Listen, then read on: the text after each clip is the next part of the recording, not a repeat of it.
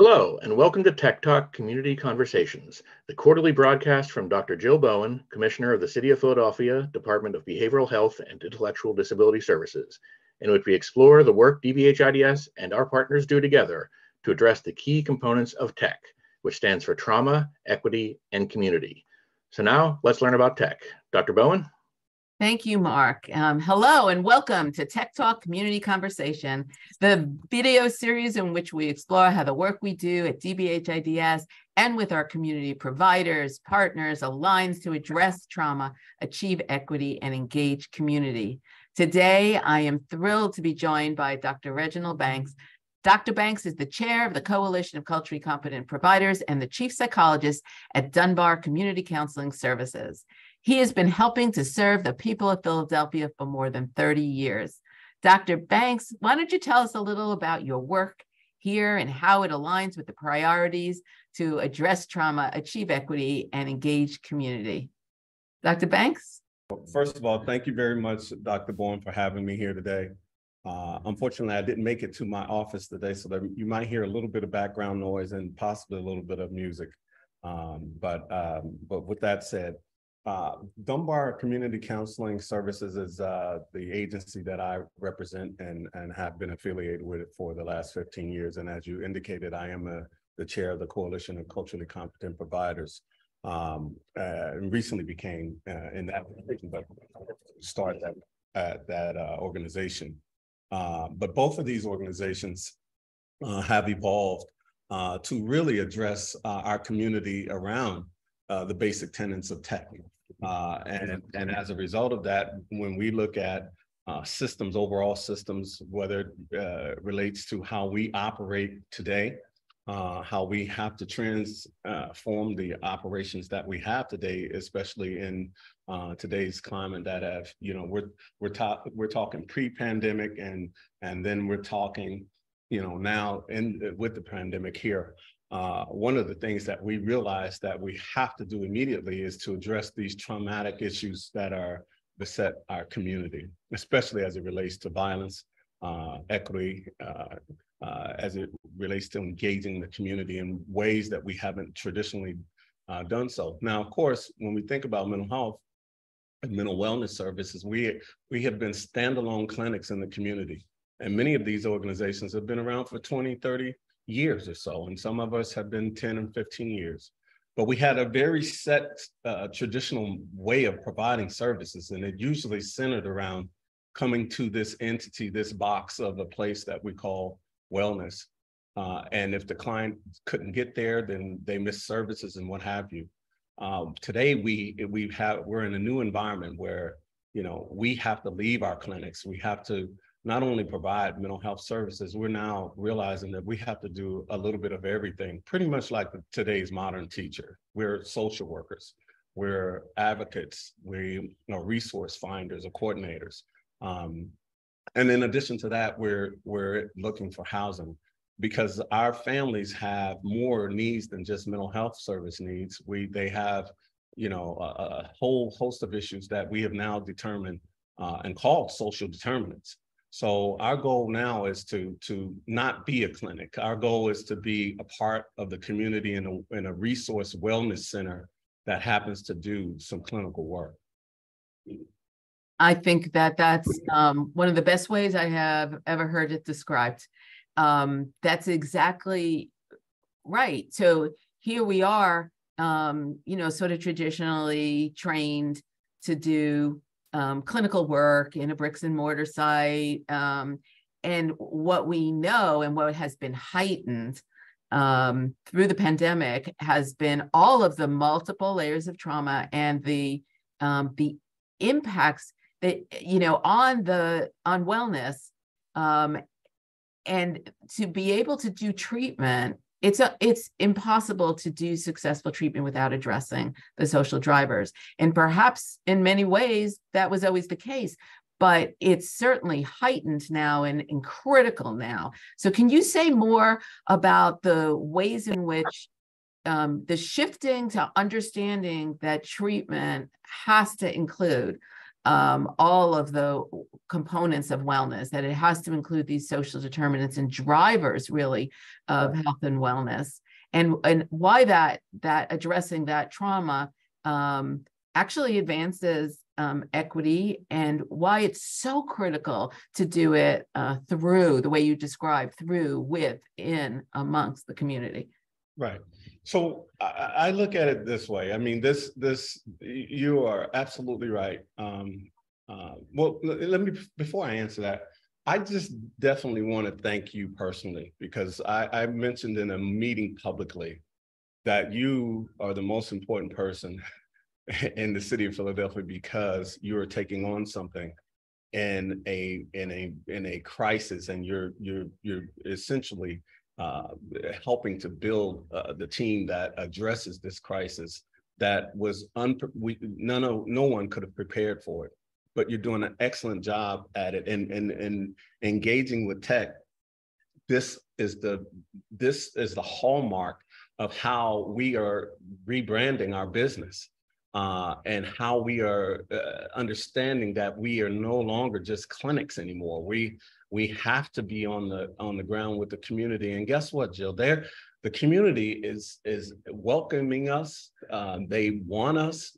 They it, you wouldn't understand how important it is for us to be outside the clinic on on uh, in North Philadelphia, speaking with community-based organizations such as Fatherhoods Fatherhoods on a Mission uh, and doing biweekly groups out in the community uh, now with these community-based organizations. So these are community-based organizations. We've been able to secure funding to do these groups in the community.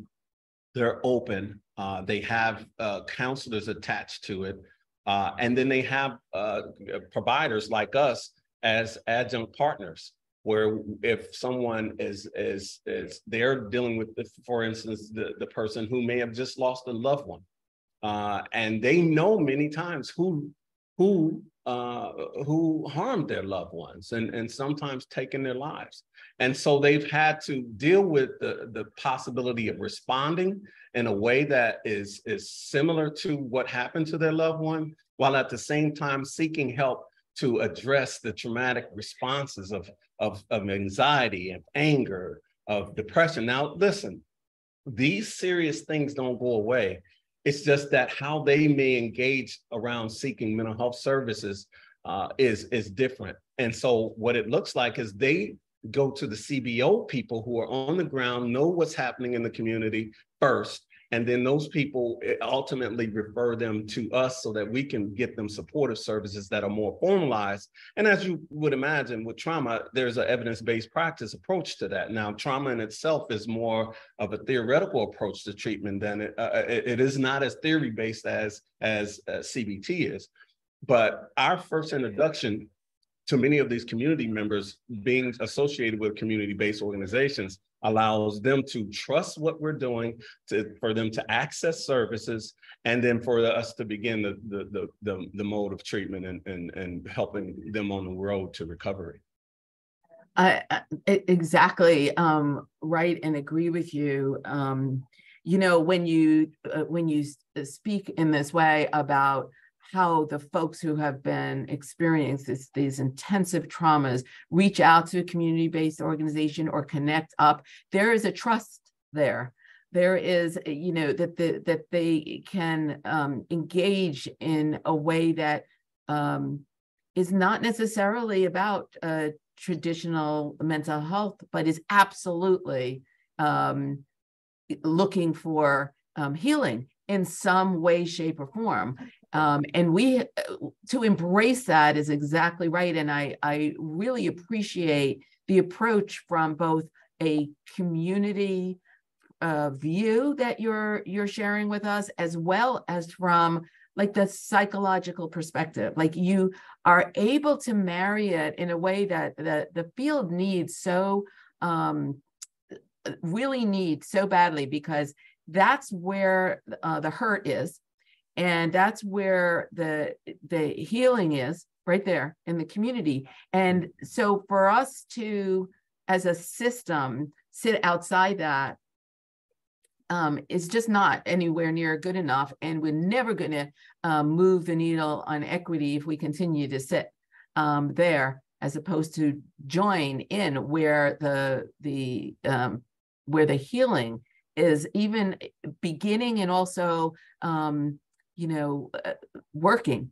Right, right, and I'll I'll add to that, Jill, that um, when we engage in this way with with community-based organizations, and you know, you know, what we find is those organizations have a right from a uh, achieving equity standpoint of view to exist to to expand their their reach in ways that we can't um, which is not you know that's not our charge is to be on the ground in that way in a sustained way.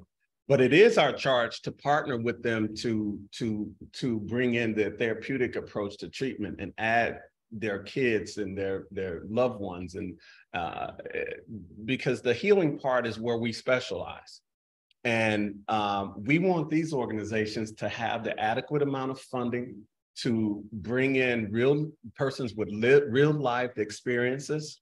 Um, we want that support to be there for them not only to to address their their uh, uh, uh well needs but many of those individuals to address their needs, their wellness needs, have now become advocates to try to prevent violence and to usher uh, young men who who traditionally would not uh, come into services, trying to get them to participate. Now, of course, uh, you know the model that that you engage with on the street is different because it has to be open, it has to be flexible.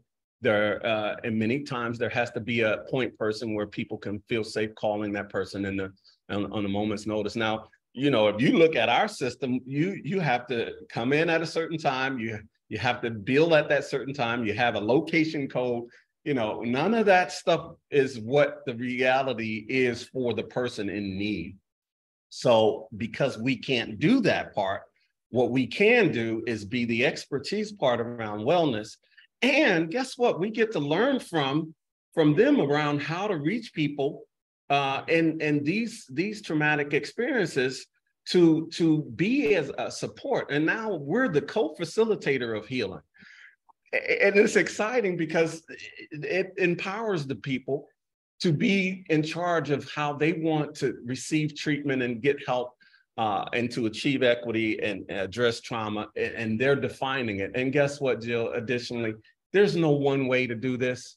We we just go with where they're taking the, the community leaders and advocates are taking us and it's organic and you can't put it in a book and, and prescribe it. It, it, it you just have to be a part of it and activate it through your participation. And, and in this way consistency is the intervention. It is mm-hmm. our evidence-based practice. And, and mm. in other words to reverse that it would be our practice-based evidence because we're on the ground and, and supporting them. And, and our presence is is it gives them hope and helps them to get closer to the standardized form of treatment that maybe only six or seven sessions may work before they they go back out you know into the into their lives but at least they they have one step two steps closer to understanding uh, what it is that we do and it and it also helps that i'm a brother is this is a rare, you know, there are not a lot of brothers in the field. Uh, mm-hmm. And we hope to encourage uh, many community members that as they go through this experience and realize that they have been impacted, but they can also be counselors and, and help in the healing profession that also we want them to consider coming into the profession. Now, unfortunately, we don't, you know, we we wish that they would not have had these experiences, but many of them are finding that they are natural to be people who are uh, uh, coming into this field to help other people. Yeah, I, and from an equity perspective, there are not enough counselors, um, Black and Brown counselors, you know, period. And yeah. um, anything that we can do that encourages people to think about um, being in this field. Uh, so going even more upstream with it uh, in terms of internships and um, opportunities when uh, people are in high school and college or you know even uh, in their early careers makes makes a real difference. And I think uh, a lot of what I'm hearing from you, uh, in addition to the consistency and the partnering and the connection and the um, you know, practice-based uh, evidence and um, the wisdom of the community is the value that you are clearly placing on that kind of community connectedness, value as healing, value as you know, to many, to much degree, the the antidote to the disconnectedness and the disengagement, um, the disenfranchisement of so many um, of so many folks today. Um, and how how incredible that is for you to be there um, and and by even being present you're saying that you value the work that um, that they're doing and being and partnering. So this has to be a systemic change. It has to be a model um, and i really really appreciate just the clarity with which you you know explain and describe what what your organization is doing what you're doing and the the perception. And where do you think you, you and your um, team would take it um, take this model in the you know throughout the the year? Where do you think we we may be? Uh, and in many ways you are a leader in this work um, yeah. and people are paying attention to what what you're doing and how you're doing it well, well, one thing we have to do, um, and, and that we what we plan to do in the next years, we we have um, three basic goals, and sometimes you you have goals that are really too long. I I, I try to convince my my my my therapist to make sure that the treatment plans are short, sweet, to the point, and understandable to the client and to anyone reading it. So I'm going to be really straightforward with our goals. One you know, we want to increase, continue to increase our partnerships with community-based organizations, trade organizations. Obviously, I'm part of that. But we also, uh, through those means, we we want to uh, fashion a message to our policymakers. And, and as you know, we were part of a, a mayoral forum this morning, but we have to make sure that we, we have uh, our questions uh, centered around how funding uh, is is going to look like in the future and how it's going to come into the city. Now, we just spoke about community-based organizations, and and right now these organizations are receiving a lion's share of prevention and violence dollars, and and we want that to happen. But we don't want it to be mixed up where we don't have those same dollars or similar dollars coming in to organizations who actually do the work. And so in that way, we we want to make sure that this is not because it's a hot topic, violence, mental health, well, we have long traditional organizations who do that work. Now, of course, we're we're redefining how we do it. We're not going to be in the box called a clinic and, and, and wait for the client to come to us anymore. Now we are going to be out in the community and we're going to partner with the community-based organizations and we're going to try to develop some, some partnership and equity there so that we, we don't move too far going to the left with the CBOs and, and leave out the providers. So we want to make sure that in the partnership fashion that we're we're making sure that these policy developers uh, understand that the, the importance of that. And that would mean to make sure that the dollars are there for the Department of Behavioral Health and Intellectual Disabilities and CBH. The other piece is, is what we call staffing, and that's the retention recruitment piece. That that is a piece that we we want to highlight uh, in our organization. And you know, the shortage uh, in our organization is around the therapist component. And I think that you know there's a variety of issues and and you know challenges there, but you know the, the long-standing one is that uh, historically that our profession has not been on parity with the pay for the position so at this point those individuals who are licensed have more uh, uh leeway in where they're going to choose to take their talents. And unfortunately you know you got large corporations as a result of the pandemic have scaled up to recruit those individuals and to, to bring them on telehealth platforms and, and challenge the industry as, as we know it.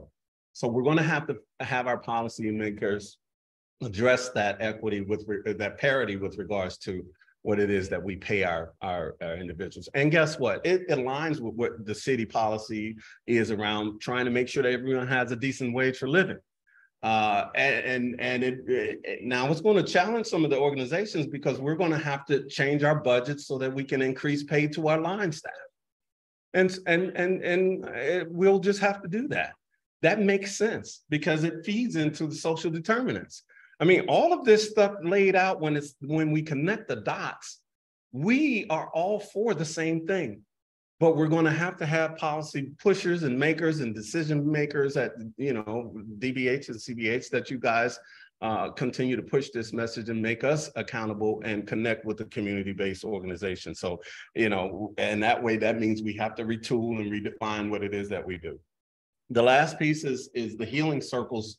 And when we say healing circles, we're talking about making sure that not only are we looking to partner with the community-based organizations who do this work and try to get young men and women into their, their programs to provide therapy. But the agencies that ourselves, we, we have to heal our staff. We're doing a lot of work around what it means to have a mental health uh, staff uh, today. So, you know, we we had to redefine one their their their pay uh, we have to redefine their roles and give them more responsibilities um, and give them a clear path to promotion. Uh, historically, we have not done that. We so we're going to have to fix that, and we're doing that really well. And in addition to that, we we we have to push them to you know possible educational and training and certificate opportunities mm-hmm. you know, someone mentioned in the forum this morning that the people who are going to sort of be left to do this work are the people who are still passionate about it and who have the mission to do this work. And and those individuals, we want to we want to grab them first because they don't put themselves up to be bid out to corporations. They really want to do community work. And that's where we need them. But we have to respect them with the wage. We have to respect them with the position we have to respect them with the opportunity for advancement. Um, thank you so much. Uh, this is such a great conversation. I know we went over time. Mm. I, I, was just uh, completely, um, it, it, was just, just so engaging and so um, spot on. I actually, you know, was taking lots of notes because the way in which you, you, um, you describe it and say it is just, um, just really excellent.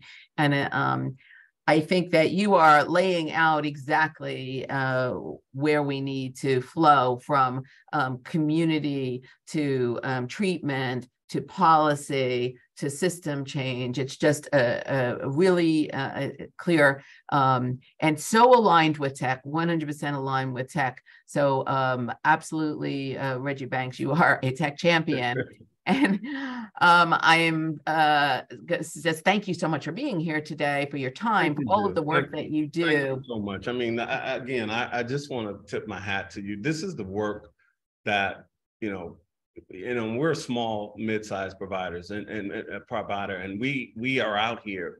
I think that this is a an excellent time for us to be creative with these problems that we have. Uh, and sometimes you have to step away from the problem and begin to, to work this problem. And, and as long as you're passionate about it, the answers and will come. Uh, we can't do this without DBH. Uh, we we we can't do this. We've we've been tied to to your um, um, your DEI steering committee. We we participated in the healing spaces. Our staff have, um, and so those things that we we we have and that we participate on allow us to be creative. And we've scheduled the trigger film which is we we're expecting about 100 and some people to come to the community event. So these these are things that we know we have to do to make it easier to do our job. Uh, but it also makes it easier for us to sit down and think about how to be creative uh, with all of the overwhelming issues that we we see. We see the problems. We know that the problems are there so we are going to have to find a way to be creative and solve those problems. And, and, and these many efforts that you have with your department makes it easier for us to begin to think outside the box. So thank, thank you. you so much. Um, really excellent um, community conversation, TEC Talk today. And I want to just thank all of you who are watching the DBH IDS Commission TEC Talk Community Conversations. And we will convene again in July when another guest will help us learn more about the important work that our organization does and that their organization does and that we do together when we partner to address trauma, achieve equity, and engage community. So thank you. Thank you. Thank you.